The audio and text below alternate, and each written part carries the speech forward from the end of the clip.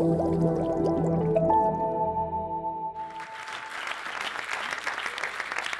you guys, uh, you guys look amazing. I'm so, um, first of all, grateful to be here.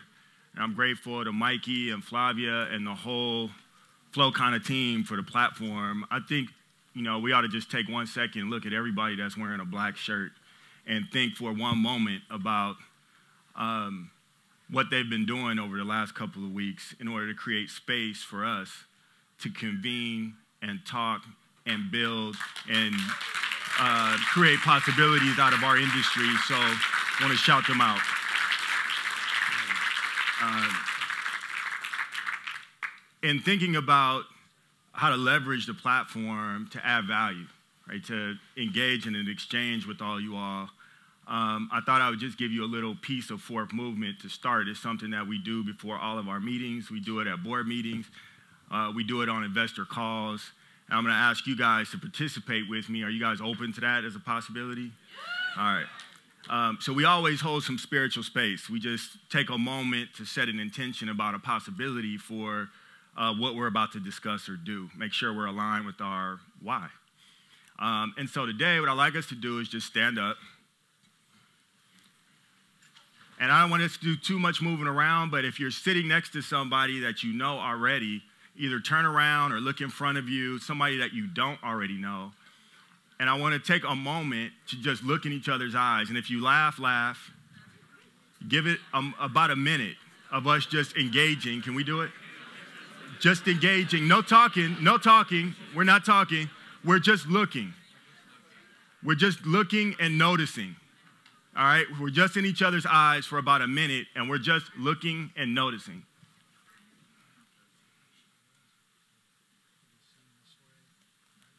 Thank you. Thank you. Um,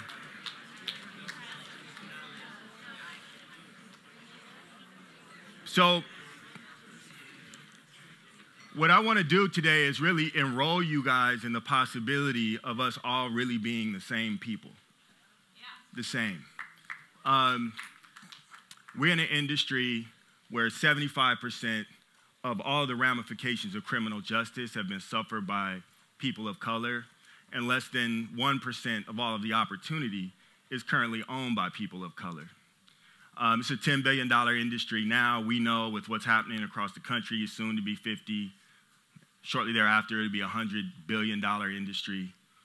And I think what we have the opportunity to do through this new, burgeoning, beautiful business is create equitable existences in America. I think that's what social equity ought to be about. Uh, and that's what we do at Fourth Movement. So, if I can, I think sometimes people are interested in exactly kind of what we're doing and why we're doing it and how we got there. And I'll share a little bit about um, my story, and then I'll talk to you a little bit about what we're doing. And then I'm going to end with um, showing you some social equity partners and the experience they're having, and hopefully um, leave you inspired. Um, I'm a really fortunate guy. I'm from LA, born and raised, went to school in Georgia, but was born um, to two amazing people. Uh, both parents grew up in South LA without a lot of resources, single parent household. Um, my mom and my dad. And my old man in his 20s, uh, fresh out of the military, right place, right time, got a job at McDonald's. I think the things he learned from his great grandmother, who was a domestic, um, and the peoples whose homes that she cleaned and the lessons that he learned from them uh, really prepared him to be successful in corporate America. In about seven years, he became a corporate executive at McDonald's. And when I was 11 years old, he came in my room and he said, Son, you know, you could never inherit my job, but one day you might be able to inherit my business. So, 11 years old, he bought two McDonald's restaurants in Pomona, California, and I grew up in and around that business. Uh, in my early 30s, I had an opportunity to do other things. I was approached to become a Buffalo Wild Wings franchisee. And so, you know, I'm, a, again, very fortunate guy. I own four of them with two of them under construction in and around Southern California. In 2011, I opened one in the Crenshaw district. It changed my life. Um, we're always, you know, good operators. Growing up in and around the business, uh, my parents were very philanthropic, never saw them doing the wrong things, always doing the right things for the right reasons. But you know, your parents say a lot of things, you don't always really feel and connect to them. Like one day in, in Buffalo Wild Wings, which is a sports bar, um, the dean from Dorsey High School was there. It's uh, my mother's alma mater, and it has a pretty bad reputation as an inner city high school that, you know, doesn't produce very good outcomes. And so I was pretty skeptical, pretty arrogant at the same time, talking about Dorsey High School. And um, the dean said, Well, have you ever been? I said, No. She said, Well, why don't you come? I said, Sure, I'll go the next day. They have this very robust entrepreneurship program. And um, I saw the students, kind of fell in love on the spot, and agreed to teach a class. So I taught an entrepreneurial class for a semester. And at the end of that semester, the kids did a pop up restaurant. It's kind of a big deal in the city. The mayor, et cetera, et cetera, came. Um, and it felt amazing. That led to me becoming a board chair at a local um, community college and then um, getting engaged with a program called Bloom. Similar to kind of what our social equity conundrum is around the country. In California, is a stat that will surprise you 40% of black boys don't graduate high school. 90% of the ones that do not graduate high school go to prison by 25. So whether you blue or red, that's a burden on the taxpayer, but more importantly, it's really not fully expressing human capital, and we all lose, right? I was able to really kind of see how little love it takes, how little love it takes for people who I think have like lost the birth lottery. Through no fault of their own, they're born into circumstances that produce these negative predictive outcomes.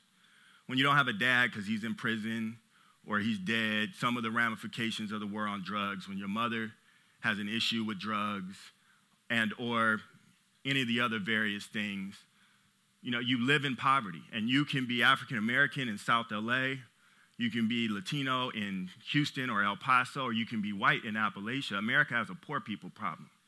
And poor people get poor people results in our country, and is not loving existences.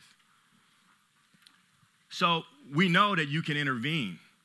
Uh, people want to be hopeful. What I believe is that a lot of people are born into situations where they really don't have a reason to believe that God loves them. And if they don't believe that God loves them, they don't have a reason to put it all on the line. Back in my business, I kind of saw that the same young people that we were helping to transform in South LA is really the same population that we employ as entry level employers in Buffalo Wild Wings. It changed my perspective uh, from being a guy that sold chicken and beer in restaurants to being a guy that developed young people. And I think because of that approach, when the city of LA courageously decided that two thirds of all of the licenses were going to go to people who have been disproportionately impacted by the application of criminal justice, one of our city council people called me and said, Man, listen, these programs have happened in Oakland um, and it's been pretty predatory. Would you take a look at getting involved?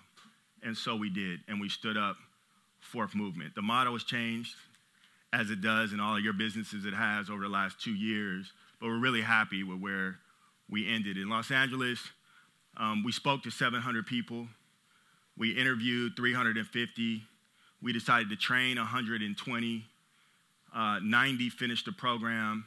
And in the first part of phase three of the licensing, we secured 32 leases around the city of LA and applied on, on behalf of all 32 individuals whose lives have already changed. Um,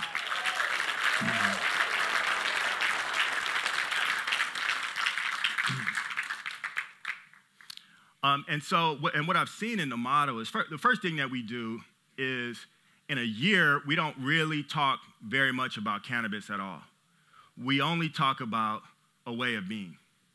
Who do we have to be as individuals in order to do 200, 250 transactions a day manage 15 or 20 other human beings, overcome our own traumas, deal with our own families, and be consistently doing what we know is the right thing to do, regardless of how we feel or what's expedient in the moment. We started by investing in sending everybody to Landmark. Landmark Forum is something that I participated in, had a, a positive impact in my life. And for folks who uh, have experienced a lot of trauma, it created a tremendous clearing so we could speak the same language. What I'm trying to do here is, is, is give you guys some tools to think about in your business uh, and in your walk, what are things and ways that you can think about to engage in ways that make the world a more loving place for all of us through the people? Right, we'll spend a lot of time, and I'm not an expert, we've, we've listened to a lot of tremendous expertise around the plant, um, around the science, um, around what's coming, around the legislation, right? But there's an opportunity here that's a human capital opportunity, and I'm hoping that when we leave today that you guys will be engaged in trying to figure out more ways that you could do something authentically and consistent with your business model to attach yourself to other human beings who will then go make the world a better place. Um, for Fourth Movement, what we know is that the model is transferable. So, in addition to being in LA, we're in Chicago. We just announced the 50 people that we're training in Chicago. We think that the model is, um, you know, has, is viable all across the country.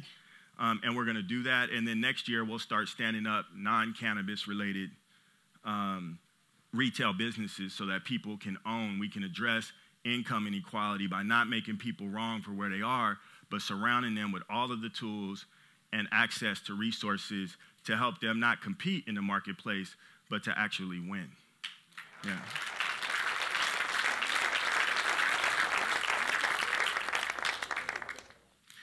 So with that, without rather than going into a long soliloquy about the rest of the different elements of our business, I think I would just leave you with the video. Um, and it's the video that really describes the moment where some very deserving people, after the course of the year, found out um, that they were selected to actually have a property and move forward with this process. If you get a store, you know, what would that mean for you? What will it mean to your family? And what will it mean to your community? It would mean a lot to me as a, a woman, a black woman, and as a social justice warrior. If I get a store, when I get a store, it's gonna mean thriving, not surviving. It really becomes a platform for me to stand on, to kind of pull everyone else up around me. It'll be that thing that you know people can rally around. To be able to change my family's life, to impact the communities that have been looked over and forgotten about is magical. It's about being successful and leaving a legacy for my mom, for my dad, for my brother, and for my community. I want to be an example like, yo, you know, you can actually do this as well. There's nothing that could make all of us happier than to present you with your store. I want to present you with your store.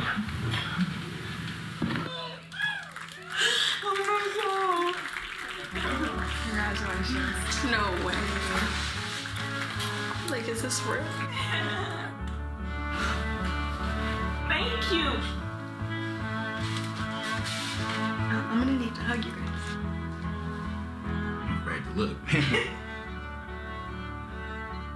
I'm like crying in front of people. this is really messing up my gangster.